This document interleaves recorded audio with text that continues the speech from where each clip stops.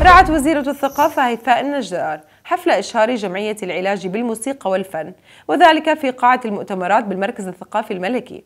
وفي الاحتفالية التي حضرها نقيب الفنانين الأردنيين محمد العبادي وعدد من الفنانين الأردنيين أكدت النجار أن أمام هذه الجمعية فرصا كبيرة للنجاح وتحقيق إنجازات في حال ما نهجت طرحا علميا محملا بالقيم الفضلى.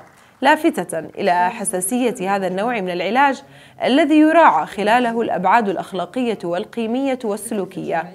وبين رئيس الجمعية الدكتور جاك سركيس في كلمته أن جمعية العلاج بالفن والموسيقى هي الأولى من نوعها في الوطن العربي وتجمع بين مهنتي الطب والفن. لافتا إلى أن الأردن يعد أول دولة تمنح درجة الدبلوم في تخصص العلاج بالموسيقى والفن.